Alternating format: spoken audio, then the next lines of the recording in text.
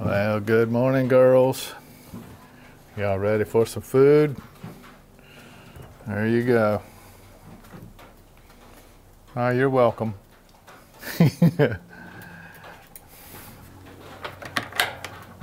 Today we got to separate the flock.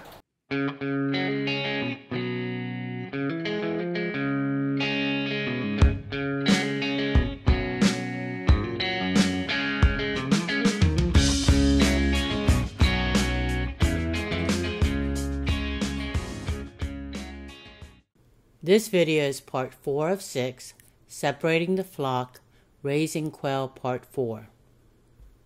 Well, welcome back, friends. Today, got to separate the flock. We've had uh, these birds are getting mature and um, they're starting to overbreed, and um, that can be a really serious problem for your birds. And, and I had to learn it the hard way, I guess, like everybody else.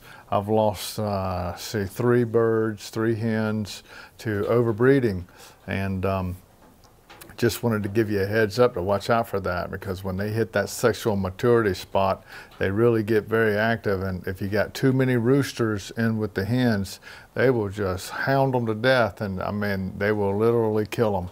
And um, the way to check it out is uh, I, I was thinking about going by the calendar by a certain amount of weeks and then I'd separate, but I don't think I'm going to do that. I think what I'm going to do is watch for the signs the signs are when the crow, um, the roosters start crowing, you start hearing them crow, then you know that they're getting ready. They're at that point. And when you start looking at the top of your hens' heads, they'll peck the, the, the roosters will peck the top of their heads and grab them by the back of their head there when they mate.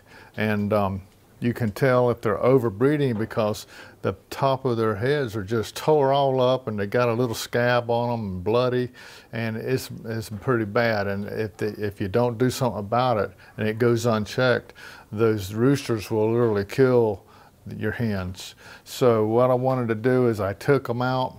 I, I, I removed my dead birds and I separated the roosters over to what I call death row. This is where I cull them out and I take them over here to harvest them.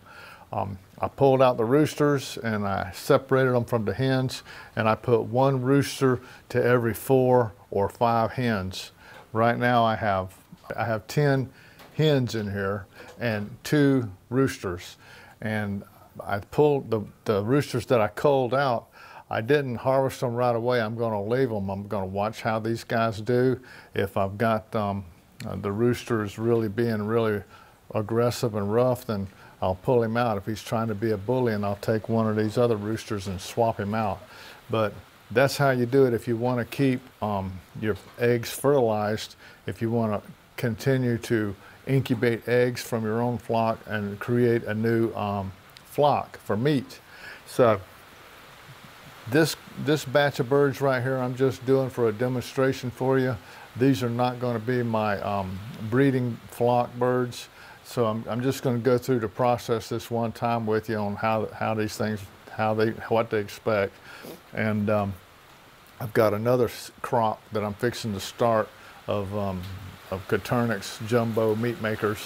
I'm going to be using those and I'm going to call out 10, 10 hens and two, two good roosters, the best of that crop, and I'll keep them in this hutch for my breeding flock and that's where I'll get all my egg production for eating and incubating. And then all the other birds I'll call out over to the other hutch and that's the ones I'm going to continue to harvest and for our meat making process. So I just wanted to show you today what we got.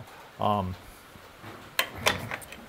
we'll let you come on up here and take a closer look. I wanted to show you the difference in a, um, a rooster and a hen and what to watch out for when, when they're getting overbred besides death.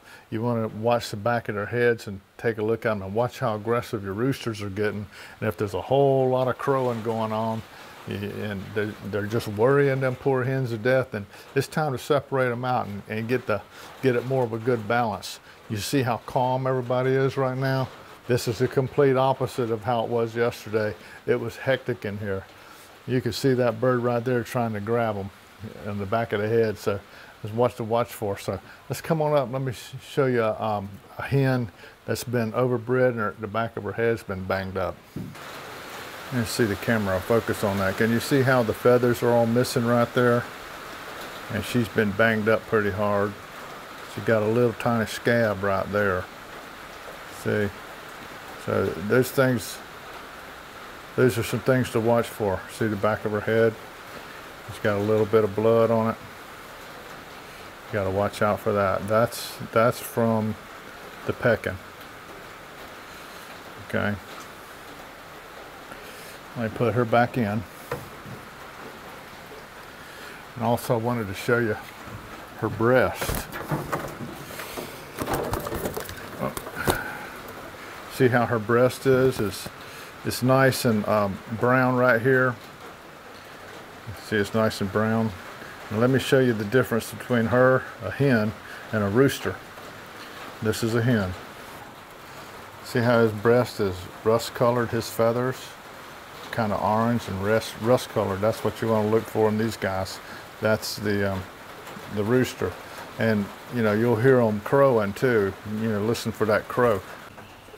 Here they all are. They're um, separated out. If anything, it's much less crowded, and they're much happier about that in itself. But not having the roosters tormenting them is a big relief. So this this is the hen. I got them in this this hutch. And then we'll take a look over here. Here's the other hutch. Well, they're all inside except for two. There's five of them in here. Um, this is where the roosters stay until they get culled out for, you know, to be harvested. So that's how we're rolling today. And we'll be uh, saving these for a couple more weeks. I want to get them fattened up a little bit more so I can get them ready for harvest. And then we'll, uh, we'll come back and do a video on actually how to harvest them. If hopefully you'll uh, understand that that's just part of the process. Okay. Well, a short thank you for watching today. I hope you enjoyed uh, taking a, a, peek in at the girls and how they're progressing and uh, maybe you learned something out of that or you maybe you already knew all that. I'm, I'm learning with you. So this is our first batch of birds and we're having fun learning together. So I thought I would just share it with you. So we appreciate you watching. If you like our channel, please subscribe and be a part of our homestead family. And uh, until me and Nancy see you next time, always remember, by his hands we are fed. Give us, Lord, our daily bread. Amen. Have a blessed day.